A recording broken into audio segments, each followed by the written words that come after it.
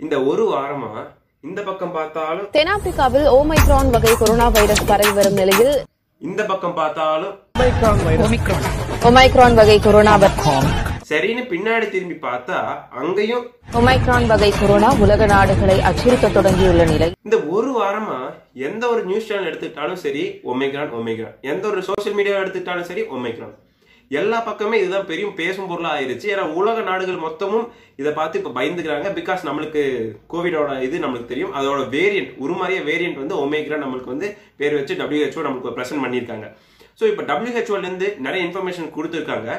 நம்ம ஊரில் ஒரு விஷயம் என்னன்னு பார்த்தீங்கன்னா உண்மையை விட பொய் வேகமாக பரவும். எஸ் அப்படி சொல்லக்கூடிய விஷயங்கள் தான் ஒமேக்ரான் வந்துட்டா இப்படி இருக்கும் அப்படி இருக்கும் நம்ம செத்துருவோம் அப்படின்னு சொல்லிட்டு நிறைய விஷயம் சொல்றாங்க.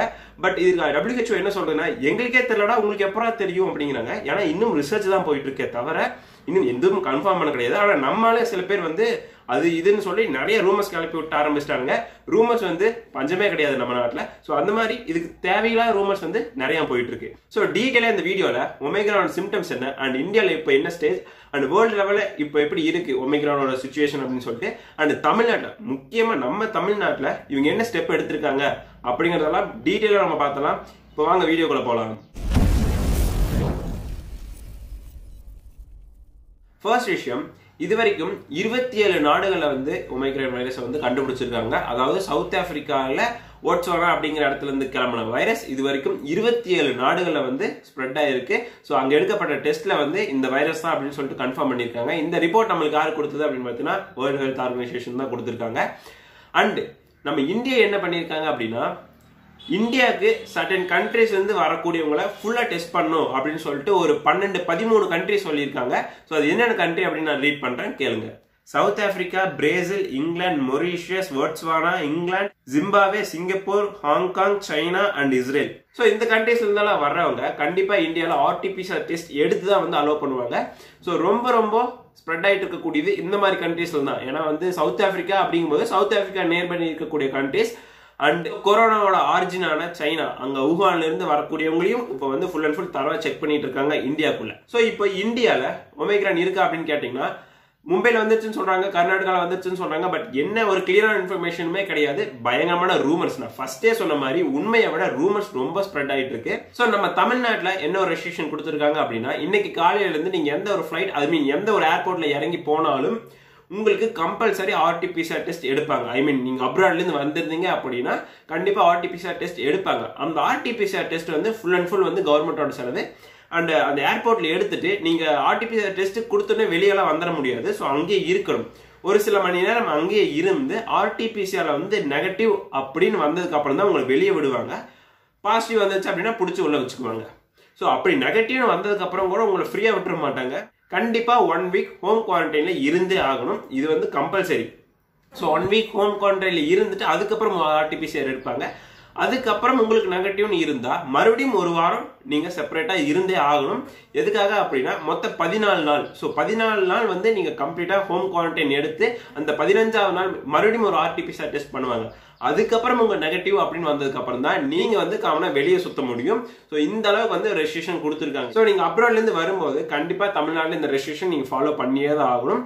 இப்படி இருந்தாதான் இங்க யாருக்கும் ஸ்ப்ரெட் ஆகாது அப்படின்னு சொல்றாங்க. பிகாஸ் டெல்டா வைரஸை விட இது ஓவரா ஸ்ப்ரெட் ஆகுது அப்படின்னு சொல்றாங்க. பட் இதனால வந்து இன்னும் ஒரு கேசஸ்க்கும் ரிப்போர்ட் பண்ணல டெத் கேசஸ் இது வரைக்கும் ஒமேக்ரானுக்கு வந்து யாருமே இறந்து போகல அப்படிங்கிறது நம்மளுக்கு ஒரு ஆறுதலான விஷயம். சவுத் ஆப்பிரிக்கால ஓட்ஸ்வானால இது வரைக்கும் யாரும் இறந்து போகல. ஒரு கேசஸ்க்கும் ரிப்போர்ட் ஆகல வேர்ல்டு லெவல் அப்படின்னு சொல்றாங்க.